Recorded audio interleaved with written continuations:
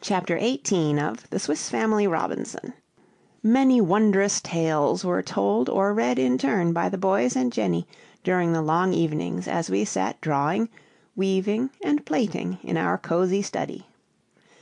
In fact, this winter was a truly happy time; and when at length the rain ceased and the bright sun again smiled upon the face of nature, we could scarcely believe, as we stepped forth and once more felt the balmy breath of spring, that, for so many weeks, we had been prisoners within our rocky walls.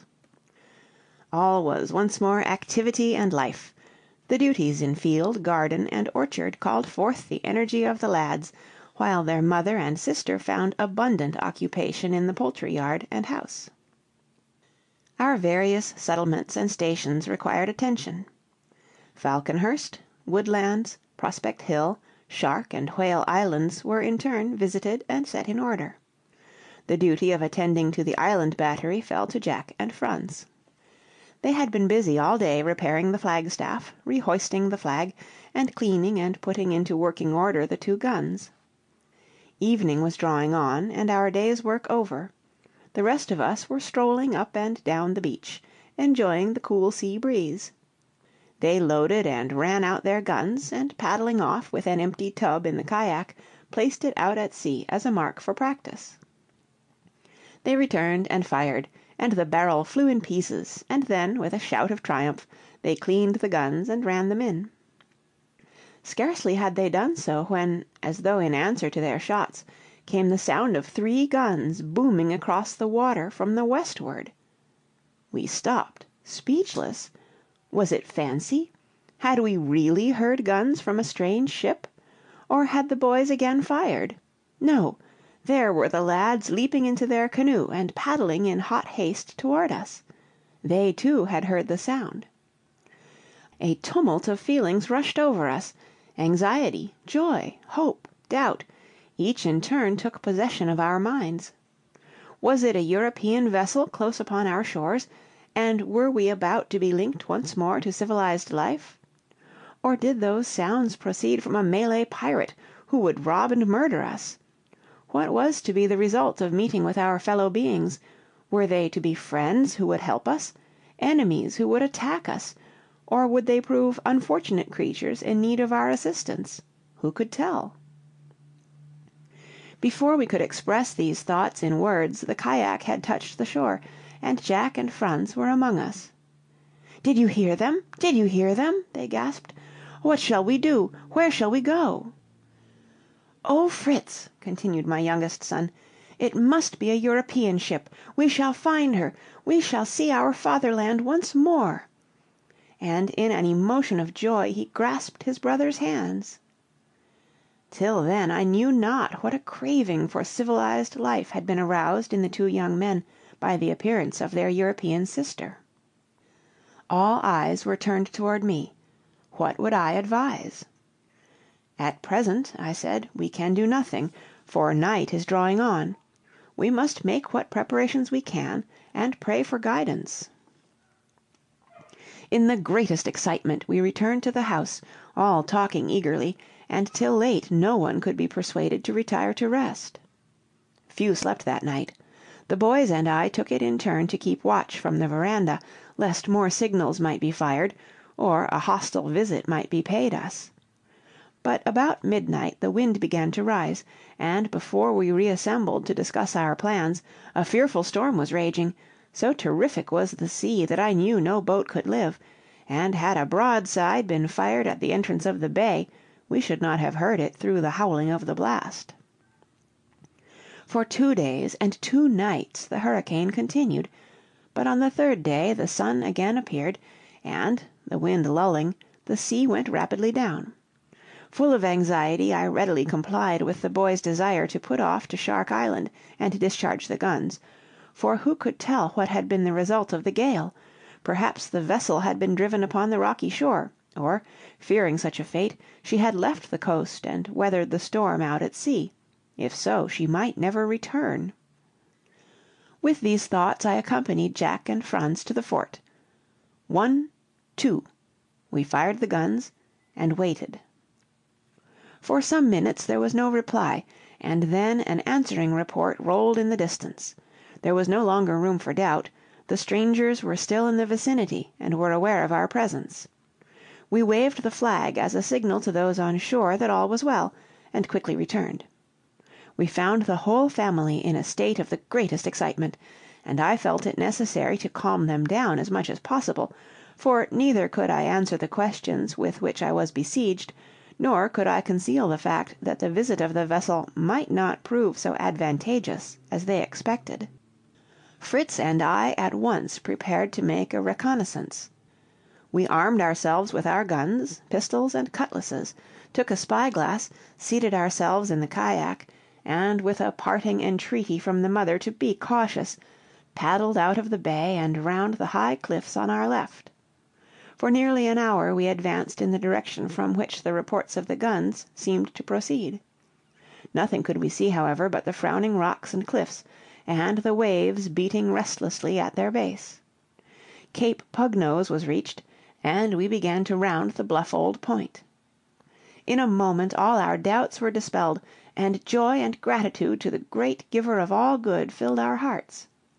There, in the little sheltered cove beyond the cape, her sails furled, and anchor dropped, lay a brig of war with the English colors at her masthead. With the glass I could discern figures upon the deck, and upon the shore beyond several tents pitched under the shelter of the trees, and the smoke of fires rising among them. As I handed the glass to Fritz, I felt a sudden misgiving.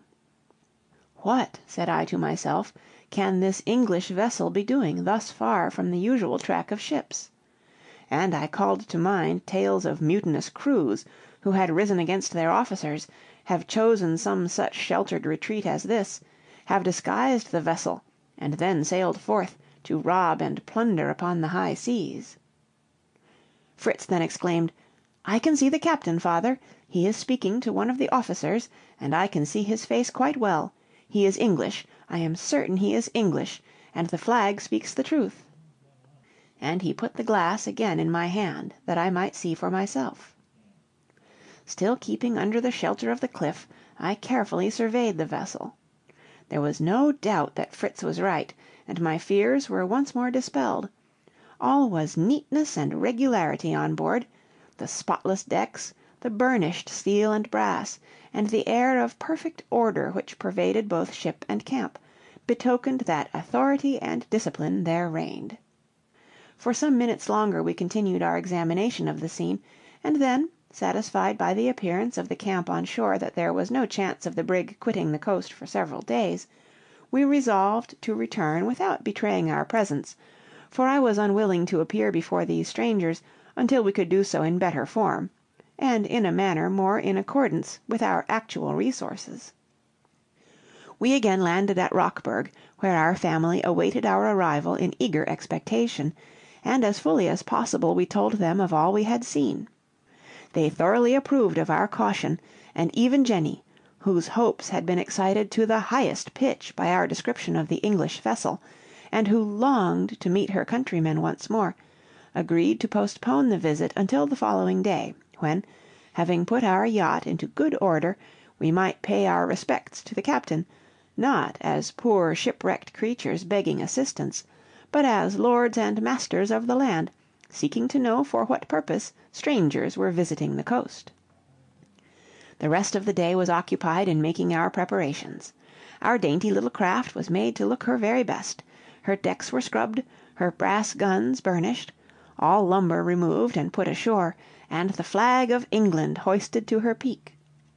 The mother overhauled our wardrobes, and the neatest uniforms were put ready for the boys and me, for though neither my wife nor Jenny had ever dreamed of appearing otherwise than they would have done had they been at home among civilized people in Europe, yet we, accustomed daily to rough and often very dirty work, had adopted just that custom which best suited our comfort and inclination.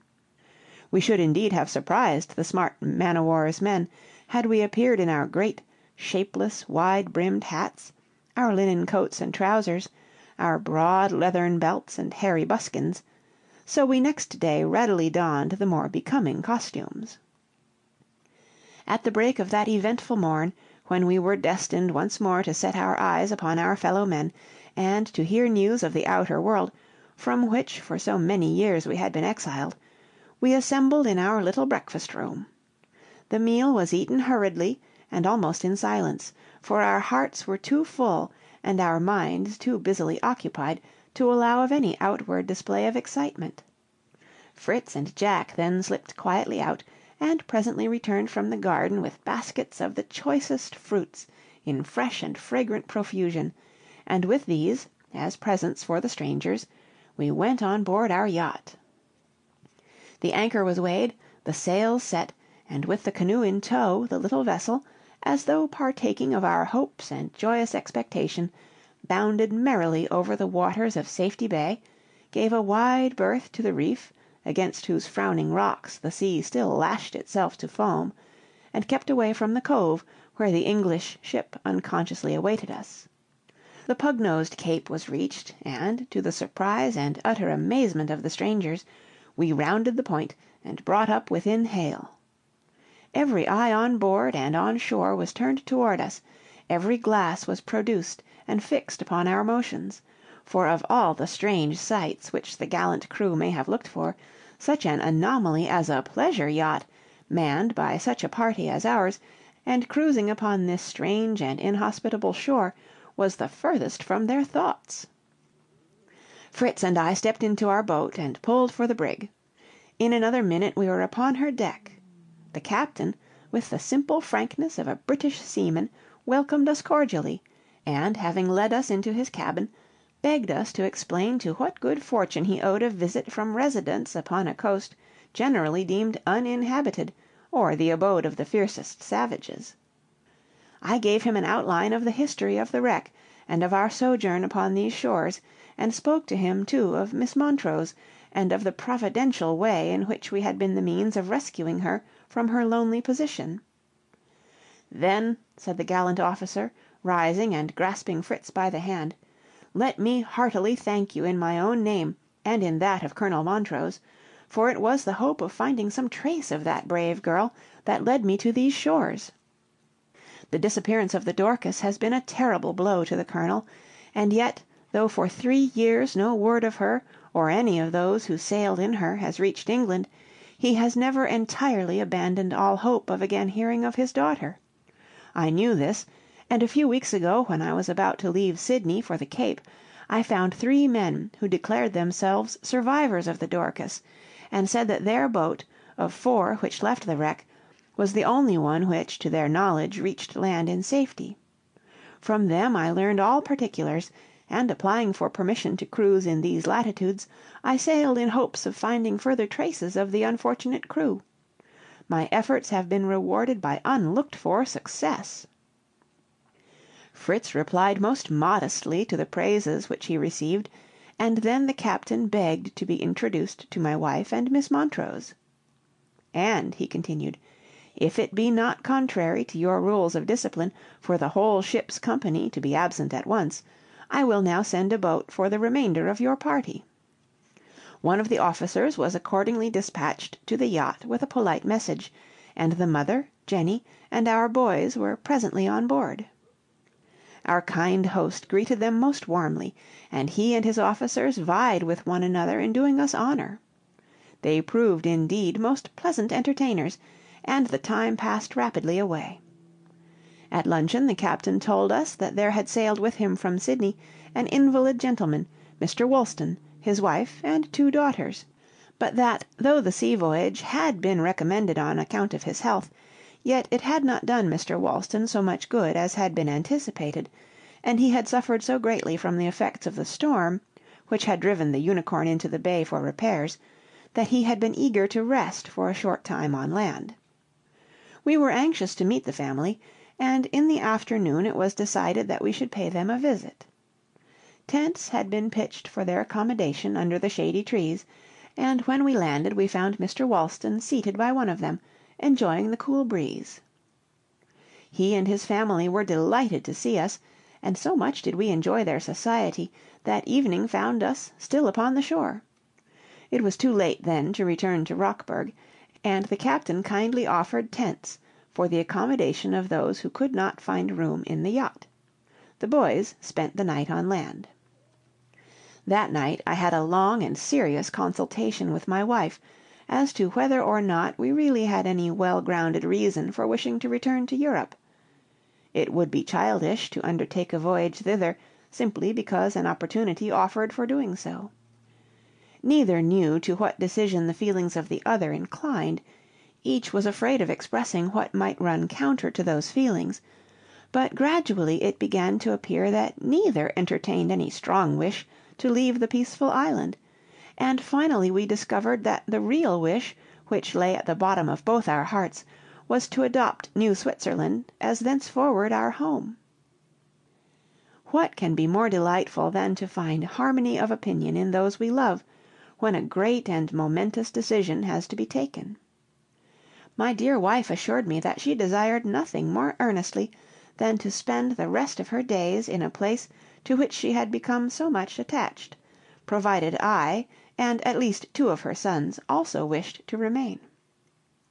From the other two she would willingly part, if they chose to return to Europe, with the understanding that they must endeavor to send out immigrants of a good class to join us, and form a prosperous colony, adding that she thought the island ought to continue to bear the name of our native country, even if inhabited in future time by colonists from England as well as from Switzerland. I heartily approved of this excellent idea, and we agreed to mention it, while consulting with Captain Littlestone on the subject of placing the island under the protection of Great Britain. Then came the question as to which of our sons were best suited to remain with us, and which to go away. This point we left undecided, thinking that in the course of a few days they would probably make a choice of their own accord, which they did, even sooner than we anticipated. After breakfast it was proposed that Captain Littlestone might bring his ship round to Safety Bay, that we might receive a visit from him and his party at Rockburg, where we invited the invalid, Mr. Wolston, and his family, in hopes that his health might benefit by a comfortable residence on shore. No sooner was this plan adopted than Fritz and Jack hurried off in the canoe to prepare for their reception, being followed in more leisurely style by the brig and our yacht. But what words can express the amazement of our guests when, rounding the rocky cape at the entrance, Safety Bay, the beautiful domain of Rockburg, lay before them! Still greater was their astonishment as a salute of eleven guns boomed from the battery on Shark Island, where the royal standard of England was displayed and floated majestically on the morning breeze.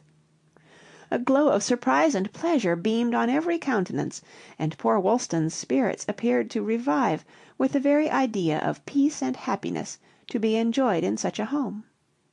He was carried on shore with the utmost care and tenderness, and comfortably established in my room, a camp bed for Mrs. Wolston being added to the furniture there, that she might be able conveniently to attend on her husband. Meantime the scene at the harbor and all round Rockburg was of the liveliest description; merriment and excitement prevailed in all directions, as the beauties and wonders of our residence were explored, so that a summons to dinner scarcely attracted notice.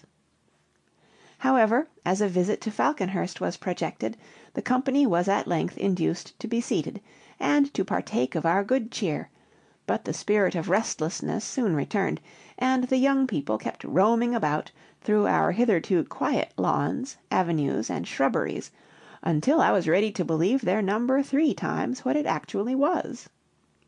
Toward evening the universal excitement began to abate, and the party assembled for supper with tolerable composure.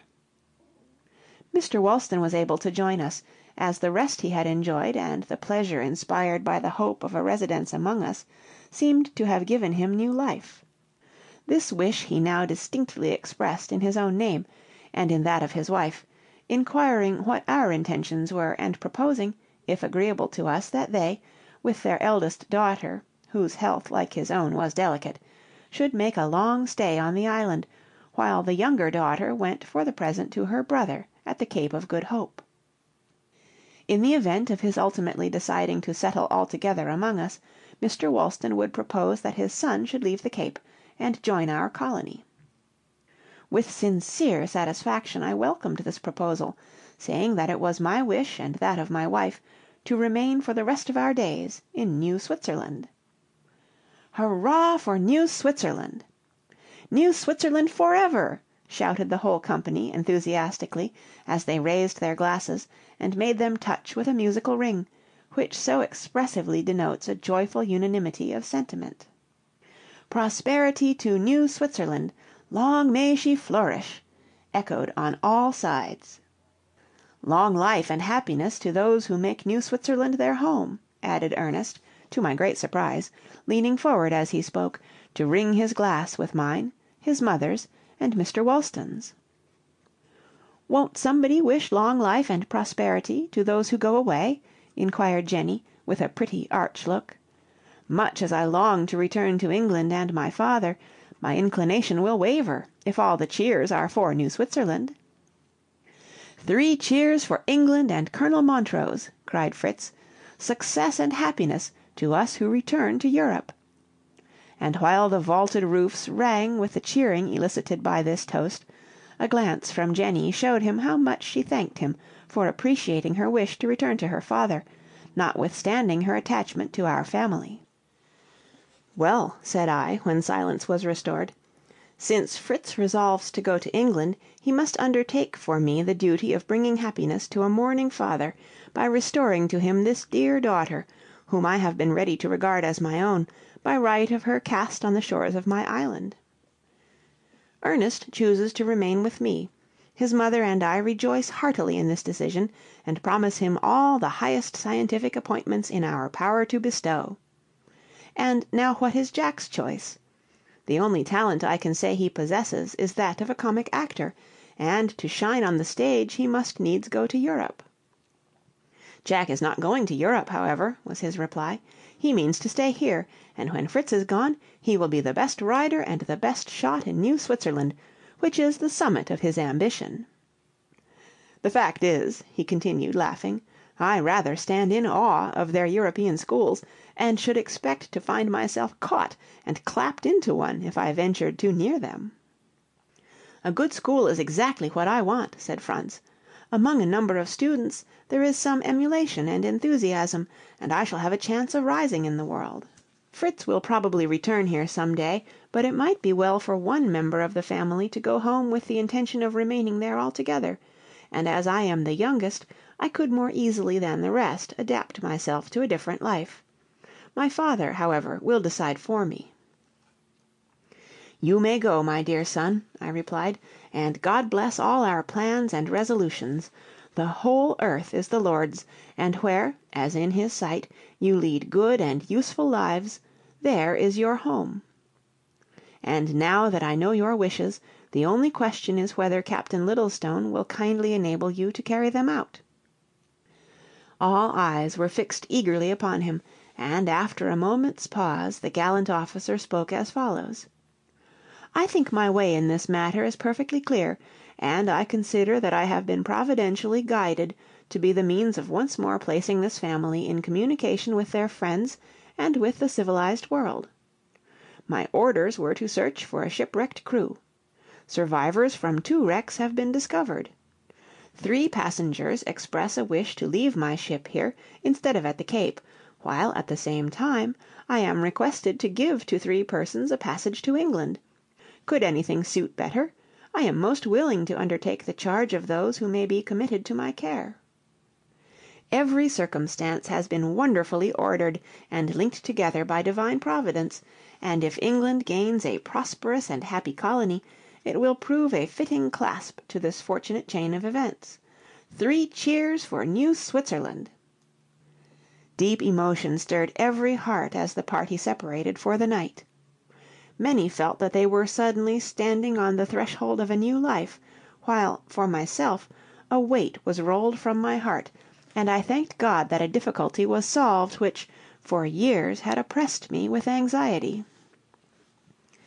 After this nothing was thought of but making preparations for the departure of the dear ones bound for England. Captain Littlestone allowed as much time as he could spare, but it was necessarily short, so that incessant movement and industry pervaded the settlement for several days. Everything was provided and packed up that could in any way add to our children's comfort on the voyage, or benefit them after their arrival in England, and a large share of my possessions in pearls, corals, furs, spices, and other valuables would enable them to take a good position in the world of commerce. I committed to their care private papers, money, and jewels, which I knew to have been the personal property of the captain of our ill fated ship, desiring them to hand them over, if possible, to his heirs. A short account of the wreck, with the names of the crew, a list of which I had found, was given to Captain Littlestone.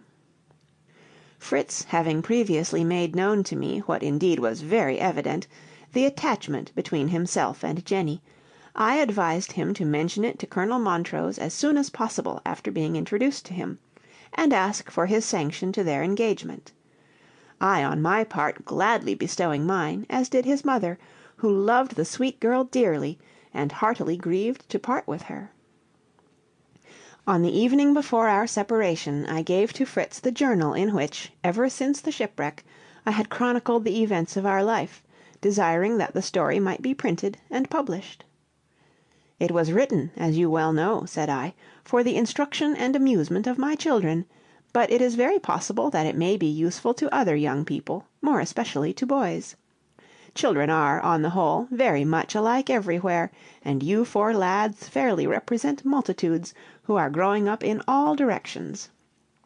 It will make me happy to think that my simple narrative may lead some of these to observe how blessed are the results of patient continuance in well doing what benefits arise from the thoughtful application of knowledge and science, and how good and pleasant a thing it is when brethren dwell together in unity, under the eye of parental love.